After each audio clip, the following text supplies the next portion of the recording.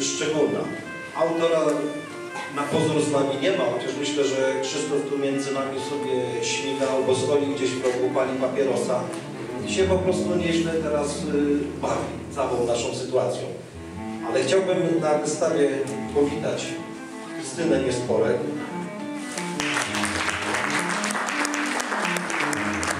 Sabinę Niesporek, Krzysztof Niesporek był człowiekiem niezwykle życzliwym, pełnym osobistego uroku i ciepła. Swoją wyjątkowość przekładał na zdjęcia, jak mało kto potrafił wydobyć prawdziwe piękno człowieka. Bardzo wiele mu zawdzięcza, podobnie jak i całe środowisko rzemieślnicze, które tworzył i dla którego już za życia stał się legendą. Pozdrawiam Was wszystkich, zwłaszcza bliskich Pana Krzysztofa. Zapewniam, że środowisko Wasze zawsze pozostaje w moich myślach i pamięci wyrazami szacunku sekretarz stanu w Ministerstwie Sprawiedliwości Pan Michał Wójcik.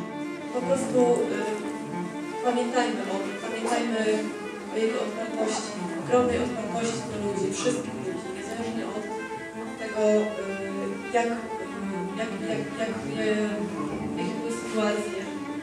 Y, pięknie pracował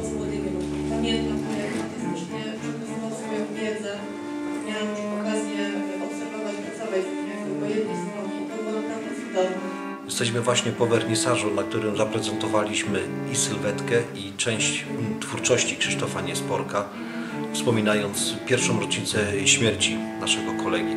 Krzysztof Niesporek kojarzony jako rzemieślnik, ale też y, nasz wspaniały kolega ze Związku Polskich Artystów Fotografików.